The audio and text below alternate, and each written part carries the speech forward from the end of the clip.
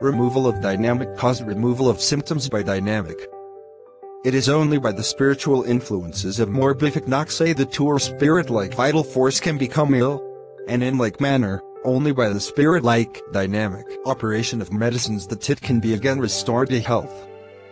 Dynamic influences only can cause and cure diseased vital principle. Section 16. Our vital force, as a spirit-like dynamis, cannot be attacked and affected by injurious influences on the healthy organism caused by the external inimical forces that disturb the harmonious play of life, otherwise than in a spirit-like, dynamic way, and in like manner, all such morbid derangements, diseases, cannot be removed from it by the physician in any other way than by the spirit-like, dynamic one, virtual, alternative powers of the serviceable medicines acting upon our spirit-like vital force, which perceives them through the medium of the sentient faculty of the nerves everywhere present in the organism, so that it is only by their dynamic action on the vital force that remedies are able to re-establish and do actually re-establish health and vital harmony, after the changes in the health of the patient cognizable by our senses, the totality of the symptoms have revealed the disease to the carefully observing and investigating physician as fully as was requisite in order to enable him to cure it.